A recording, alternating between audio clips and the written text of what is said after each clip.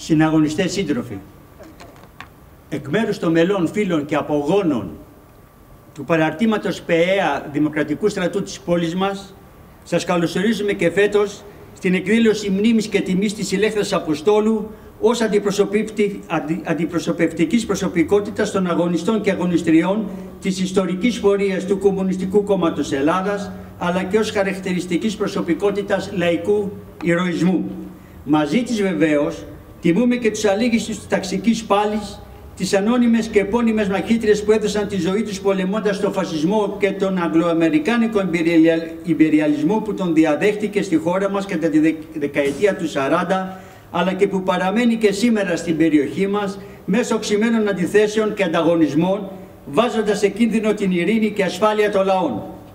Αυτές οι εκδηλώσεις μνήμης και τιμής για την εθνική αντίσταση, δημοκρατικό στρατό και κομμουνιστικό κόμμα Ελλάδας δεν είναι επαιτειακές ούτε συμβολικές. Έχουν στόχο να καταδείξουν ότι όλη η ιστορία του ανθρώπου, η κοινωνική πρόοδος και οι κατακτήσεις που έχει επιτύχει δεν ήρθαν από μόνες τους σαν φυσικό φαινόμενο απαιτούσαν και απαιτούν την κοινωνική δράση, την ταξική πάλι. Αυτή άλλωστε είναι και κινητήρια δύναμη της ιστορίας. Συναγωνιστές και σύντροφοι, η ζωή και η δράση της κομμουνίστριας ηλέκτρας αποτελούν πολύτιμη πηγή διδαγμάτων για τις σύγχρονες συνθήκες της ταξικής πάλης, για την προετοιμασία της γενικίας κομμουνιστικής πρωτοπορίας.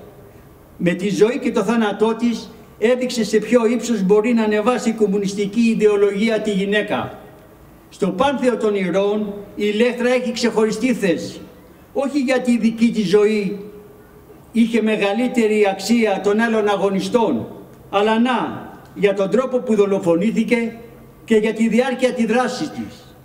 Από τα 32 χρόνια της, από τα 32 χρόνια της ζωής της, τα 19 τα αφιέρωσε σε επαναστατικά ιδανικά για μια κοινωνία χωρίς εκμετάλλευση. Η Ηλέκτρα δεν προερχόταν από τα σπλάχνα μιας βασανισμένης και πεινασμένης εργατικής τάξης, αλλά από εύπορη οικογένεια. Ανατράφηκε και μεγάλωσε με νταντάδες. Είχε όλες τις ανέσεις. Όμως από τα 12 της χρόνια άρχισε να ευαισθητοποιείται κάτω από την επίδραση των ταξικών αντιθέσεων, φτώχειας πλούτου, μικρεσιατικής καταστροφής, πρόσφυγες, δικτατορία του Πάγκαλου, φυλακίσεις και εξορίες κομμουνιστών το μυαλό της άρχισε να ψάχνει τις αιτίες που χώρισαν τον κόσμο στα δύο, αλλά και τον τρόπο για να λείψουν αυτέ. Πολλά τα ερωτηματικά στο μυαλό της. Γιατί εμείς τρώμε και εργατιά και αγροτιά που παράγουν τα αγαθά είναι καταδικασμένοι σε μόνιμη πείνα. Γιατί εμείς σπουδάζουμε, ταξιδεύουμε, διασκεδάζουμε, έχουμε ό,τι επιθυμούμε και αυτή είναι εκδητή, αγράμματη και άξεστη. Προβληματίστηκε κάτω από την επίδραση της Οκτωβριανής Επανάστασης κάτω από το μήνυμα της ίδρυσης του Κομμουνιστικού Κόμματος Ελλάδας που άρχιζε να παίζει το ρόλο του καθοδηγητή, του εμψυχωτή, του οργανωτή των εργατικών απεργιών. Στη γερμανική σχολή που θύτευσε μια φλογερή αιστεία Γερμανών καθηγητών που είχαν επηρεαστεί από τη θεωρία των Μάρξ Έγκελς συναντήθηκε μαζί της. Αυτό ήταν. Η Λέχρα δραπετεύει οριστικά από τον αστικό κόσμο της, από την εύκολη και ρόδινη ζωή και διαλέγει το δρόμο του αγώνα με τους κεντατρεγμούς, την πείνα και τη γύμνια. Έναν δρόμο γεμάτο συμπληγάδες που καραδοκούν να σε τσακίσουν και σιρήνες έτοιμες να σε οδηγήσουν σε πισωγύρισμα. Δεν ήταν εύκολο να τα παρατήσεις όλα αυτά και να μοιράζεσαι το πικρό ποτήρι του, το πικρό ψωμί του λαού. Έτσι λοιπόν η Λέχτρα έδεσε τη ζωή της με το επαναστατικό κίνημα. Μέσα από τις γραμμές του Κομμουνιστικού Κόμματος Ελλάδας διαπαιδαγωγήθηκε, ατσαλώθηκε και άντεξε παλα... παλικαρίσια στις δυσκολίες και τις θύελες που συνδέονται με την ιδιότητα του μέλους ενός τέτοιου κόμματος. Συνέδεσε με θαυμάσιο τρόπο τη θεωρία με την πράξη όταν χρεώνεται από την οργάνωσή της να δημιουργήσει οργανώσεις στην ελληνική εριουργία του Μποδοσάκη εδώ στην γειτονιά μας στη Νέα Ιωνία. Ήτανε μόλις 16 χρονών. Με επιμονή και επαναστατική αισιοδοξία δημιουργεί σωματείο και πυρήνες οργάνωσης του ΚΚΕ. Και όλα αυτά σε μια εποχή που η ένταξη των γυναικών στο κίνημα έπρεπε να γίνει σε αντιπαράθεση με την οικογένεια αλλά και τον κοινωνικό περίγυρο. Πάλεψε με όσα μέσα διέθετε να εμπνεύσει τις γυναίκες σιγουριά για το δίκιο τους και να αποδείξει ότι η απελευθέρωσή τους θα ήταν δυνατή μόνο με την ενεργή συμμετοχή τους στους κοινούς εργατικούς αγώνες. Με όπλο τη θεωρητική της μόρφωση και τον απλό συμπυκνωμένο λόγο της γινόταν όλο και πιο αποτελεσματική στην επικοινωνία μαζί τους. Το 1930 γίνεται μέλος του κόμματος και την καθοδήγηση της Όχνες στην Αθήνα. Η Λέκτρα κάτω από την κομματική καθοδήγηση ορίμασε γιατί ο πρακτικός προσανατολισμός στην εργατική τάξη ήταν καθοριστικός για τη μέγιστη ανάπτυξη των ικανοτήτων και της προσφοράς της. Η Λέκτρα δοκιμάστηκε στους δρόμους, στις μαζικές διαδηλώσεις, στις απεργίες, στις φυλακές, στα βασανιστήρια. Το 1934 συμμετείχε ως αντιπρόσωπος στο Παγκόσμιο Αντιπολεμικό Συνέδριο των Γυναικών στο Παρίσι. Το 1935 παίρνει μέρος στο έκτο συνέδριο της Κομμουνιστικής Διεθνούς Νέων στη Μόσχα και τον επόμενο χρόνο είναι παρούσα στο πρώτο συνέδριο της Κοψομόλ. Τον ίδιο χρόνο συλλαμβάνεται και οδηγείται στις γυναικείες φυλακές Αβέροφ μάλις κομμουνίστριες. Χαρακτηριστικά της η αυτοκυριαρχία και αγωνιστική συνέπεια. Πώς άλλος μπορεί να εξηγηθεί το γεγονός ότι όχι μόνο στάθηκαν αλήγιστες όλες μπροστά στα, στα βασανιστήρια με το κεφάλι ψηλά, αλλά η Λέχτρα οργανώνει μαθήματα ιδεολογικής αυτομόρφωσης και αναπτύσσει έντονη δράση για να κρατήσει ψηλά το ηθικό των συγκρατούμενών της. Εκεί, στη συμβίωση στα κάτεργα, κρίνεται η αγωνιστικότητα, η συντροφικότητα, η απλότητα. Το εγώ γίνεται εμείς. Όσο βρίσκεται στις φυλακές Αβέροφ, το μυαλό της βρίσκεται στους αγώνες, στα, στα χλωστιφαντουργία, στις εργάτριες και στους εργάτες. Το, το Φλεβάρι του 1934 γράφει άθρο στην ΚΟΜΕΠ που αναφέρεται στη δουλειά των κομμουνιστών στα κλωστιφαντουργία της Νέας Ιωνίας. Συναγωνιστές σύντροφοι, η Λέχτρα δεν πρόσφερε μόνο στις συμφάντριες της Νέας Ιωνίας, αλλά και στις γυναίκες των απεργών οδηγών στα μαξιστάσια, όταν προσπαθούσε να οργανώσει την αλληλεγγύη τους στην απεργία των ανδρών τους.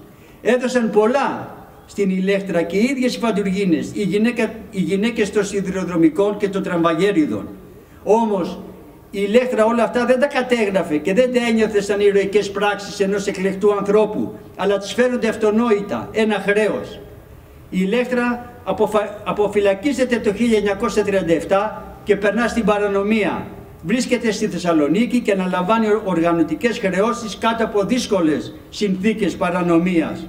Ξανασυναμβάνεται το 1939 και πριν μεταφερθεί στην Ανάφη γεννά την κόρη της στο μεταγωγόν του Πειραιά.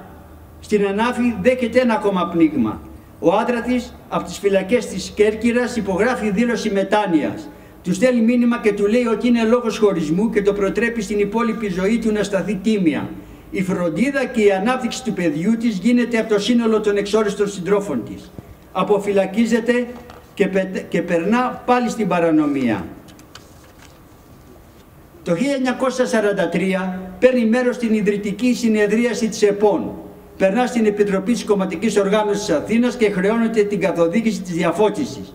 Αναπτύσσει παράνομο μηχανισμό, τυπογραφία, πολυγράφους και άλλα. Αυτή και η ομάδα της αναλαμβάνουν το γράψιμο συνθημάτων, την αφισοκόλληση, τα τρικάκια και τις εφημερίδες. Σαν κομμουνίστρια, τη χαρακτήριζε μαζί με τη μεγάλη της σεμνότητα, η δραστηριότητα, η πρωτοβουλία και η πρωτοτυπία στη δουλειά της και σε όλη τη σκέψη. Δεν κολούσε στο παλιό, εύκολα διέκρινε το καινούριο και το αφομοίωνε. Ποτέ της δεν παρουσίαζε τον εαυτό της αλάθητο. Ήξερε πως ο καλός καθοδηγητής δεν διδάσκει μόνο, αλλά και διδάσκεται καθημερινά από τους συνεργάτες, από το λαό. Συναγωνιστές σύντροφοι. Εδώ, στο σημείο αυτό που βρισκόμαστε, ήταν το εξοχικό του πατέρα της. Απ' έξω και πάνω από την εξώπρωτα ήταν γραμμένο με καλλιτεχνικά γράμματα η λέξη Γαλήνη. Ήταν το όνομα που είχε δώσει ο πατέρας της, μα τι Γαλήνη, η παραμονή της ηλέκτρας στο σπίτι αυτό εγκαινιάστηκε με το συνέδριο της Σόκνε το 1928. Μετά έγινε ένα είδος ξενοδοχείου και φαγητού για κάθε άστεγο και πεινασμένο νεολαίο της Σόκνε. Από άποψη φαγητού βέβαια δεν έλεγε και πολλά πράγματα γιατί τα, οικονομικά της ηλέκτρας ήταν πάντα στη χειρότερη κατάσταση, ώσπου η Γαλήνη έγινε στόχος της ασφάλειας. Από εκεί και πέρα μπλόκα, έρευνες, συλλήψεις, στο τέλος η ηλέκτρα αναγκάστηκε να το εγκαταλείψει. 19 χρόνια βρίσκεται η Λέχτρα στους αγώνες του ελληνικού λαού. 19 χρόνια ξυλοδαρμοί, εξευτελισμοί, φυλακές και εξορία. 6 χρόνια μάνα και βασανίζεται να βρει το γάλα, το φάρμακο και τη χαρά να δώσει στο παιδί της. Να γιατί αγωνίζεται. Να βρίσκουν όλες οι μανάδες γάλα, φάρμακα και χαρά να δώσει στο παιδί τους. Ο τρόπος που η Λέχτρα αντιλαμβανόταν τη μητρότητα έχει ιδιαίτερη διαπαιδαγωγική αξία για τις νέες γυναίκες που εντάσσονται σήμερα στο κίνημα στη ΚΝΕ, στο κόμμα. μια τόσο σύντομη ζωή γεμάτη απίστευτο αγώνα. Δεν βρίσκεται η Ηλέκτρα μέσα στην απαρίθμηση μιας οποιοδήποτε δράσης. Πάνω απ' όλα είναι άνθρωπος. Είναι ο κομμουνιστής, ο, τρί, ο, ο τύπος ο ανθρώπινος που γι' αυτόν ο Λένιν έλεγε με μια παράξενη αντίφαση λεγόμαστε οι ληστές εμείς που είμαστε οι πιο μεγάλοι ιδεολόγοι. Τον Ιούλιο του 1944 συλλαμβάνεται από την ασφάλεια και οδηγείται στα κάτρεγα της Γκεστάπο. Την υποβάλλουν σε φρικτά βασανιστήρια, το κορμί της βρίσκεται κακοποιημένο και, και καμένο στο πεζοδρόμιο, λιγμένο από το δεύτερο όροφο. Για τη ζωή και το θάνατό της έχουν γίνει ομιλίες, έχουν γραφτεί άδρα, βιογραφίες, ποίηματα, πεζογραφήματα, θεατρικά έργα. Από όσα έχουν υποθεί ή γραφτεί, το πιο ωραίο, το πιο λιτό, το πιο συγκλονιστικό είναι η μονολεκτική απάντηση της ίδιας της ηλέτρας στο Δήμιο Ανακριτή όταν την πίεζε να πει το όνομά της. Πώς σε λένε, Ελληνίδα. Η απάντηση αυτή δεν είναι ένας ηρωισμός ούτε μια στάση ανυποχώρητη. Είναι επιλογή του δεν παραδίνομαι. Κάποτε είχε πει σε συνεργάτες της. Εγώ όταν πιάνομαι δεν έχω καμία ανησυχία για την απολογία μου. Γιατί μόλις περάσει εκείνα τα κατόφλια βάζω στο νου μου πως δεν έχω μνήμη, δεν έχω αυτιά, δεν έχω γλώσσα, δεν έχω μιας μέρας ζωής. Όταν μαθεύτηκε ο θάνατός της, ο Ελλάς έβγαλε ειδική απόφαση σε όλες τις εντάρτικες ομάδες και καλούσε σε εκδίκηση. Δεκάδες δοσύλλογοι βρέθηκαν σκοτωμένοι στον δρόμο. Στο όνομά της πολλές γυναίκες στρατολογούνται στο κόμμα, ενώ ο Δημοκρατικός Στρατός Ελλάδας όρισε παράσιμο ηλέκτρα σαν την πιο έξοχη τιμητική διάκριση γυναικείου ηρωισμού. Ω φυσικός αυτούργος της δολοφονίας ήταν βέβαια η Γκεστάπο και οι Έλληνες φασίστες συνεργάτες τους. Όμως η ηλέκτρα ήταν το θύμα της ελληνικής αστικής τάξης και του υπερεαλιστικού δεύτερου παγκόσμιου πολέμου. Η αταλάντευτη στάση της αναδεικνύει ότι ακόμα και στις συνθήκες αρνητικού συσχετισμού δύναμης η επίδραση της κομμουνιστικής πρωτοπορία είναι καταλητική. Χιλιάδες κομμουνιστές και κομμουνίστριες κράτησαν ψηλά τη σημαία των ιδανικών του Κομμουνιστικού Κόμματος Ελλάδας και με τεράστιο προσωπικό κόστος αρνήθηκαν να το αποκηρύξουν. Έκαναν το καθήκον τους στον αγώνα για ένα καλύτερο αύριο. Και όσοι σήμερα προσπαθούν να μειώσουν το μέγεθος της, της θυσίας των αγωνιστών κομμουνιστών να λιδωρήσουν την ανωδετέλειά τους ή να παρουσιάσουν τους κομμουνιστές ως αυλαβές εικόνισμα, να καπηλευτούν τη φήμη τους ως μέρος της πολιτικής τους εξαπάτησης ως αριστερό άλοθη όπως ο ΣΥΡΙΖΑ στην αντιλαϊκή πολιτική του, ξεπλένοντας τους δολοφόνους των ΗΠΑ, ΝΑΤΟ, Ευρωπαϊκής Ένωσης, δεν στοχεύουν στο παρελθόν, αλλά στο παρόν και στο μέλλον. Γιατί τρέμουν το παράδειγμα του λαού όταν συνειδητοποιήσει τη δύναμή του δεν λογαριάζει τίποτα. Συναγωνιστές σύντροφοι, Εκεί στοχεύει άλλωστε και η πολιτική της Ευρωπαϊκής Ένωσης με την, εξίσωση, με την εξίσωση φασισμού κομμουνισμού, με αποδέχτες κυρίως την νεολαία μέσω του προγράμματος με τίτλο «Μνήμες κατοχής» που χρηματοδοτείται από το Υπουργείο Εξωτερικών της Γερμανίας, το Ελεύθερο Πανεπιστήμιο Βερολίνου, το Γερμανικό Ίδρυμα Μνήμη Ευθύνης και Μέλλον και το Ίδρυμα Σταύρος Νιάρχος σε συνεργασία με το Εθνικό και Καποδιστριακό Πανεπιστήμιο Αθηνών είναι ένα ακόμα βήμα στην επιδίωξη αναθεώρησης της ιστορίας του Δεύτερου Παγκοσμίου Πολέμου, των αντιστασιακών λαϊκών αγώνων, απαράμιλου ηρωισμού και αυτοθυσίας ενάντια στο αιματοβαμμένο φασισμό που το γεννά και το τρέφει το βάρβαρο καπιταλιστικό σύστημα και επιχειρείται να περάσει στα σχολεία. Τιμούμε την ηρωίδα ηλέκτρα, δίνοντας απάντηση στους σημερινούς πολιτικούς απογόνους των συνεργατών των, των Ναζί που τη δολοφόνησαν, στα ορφανά της εγκληματικής Χρυσής Αυγής, και τους άλλους φασίστες που προσπαθούν να ξεμητήσουν ξανά σπέρνοντας σκοταδιστικές και ανορθολογητικές απόψεις και που παραμένουν στην υπηρεσία του εκμεταλλευτικού συστήματος όποτε τους χρειαστεί. Δίνουμε όλες τις δυνάμεις μας να μην ξεχαστεί ούτε να αποστεωθεί από την ουσία της ιστορία όσο έμειναν αλήγοι στις φυλακές και σε εξορίες. Άντεξαν όχι γιατί ήταν υπεράνθρωποι αλλά γιατί διαπαιδαγωγήθηκαν από τον αγώνα από το ΚΚΕ την ορμή τους την έπαιρναν από τη βαθιά πίστη στο σκοπό της πάλης τους, στο ιδανικό για την κατάργηση της εκμετάλλευσης ανθρώπου από άνθρωπο.